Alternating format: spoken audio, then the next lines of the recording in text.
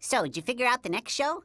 Is it gonna be painting in the rain or on a train? Neither. We've changed direction. We can't get traction on painting and singing. In the rain or planes. You know what kids love now? Ah. Science fiction. Planet of the Grapes. Oh my. Get your hands off me, you sweet sticky grape. That line is gold, Philippe. Gold.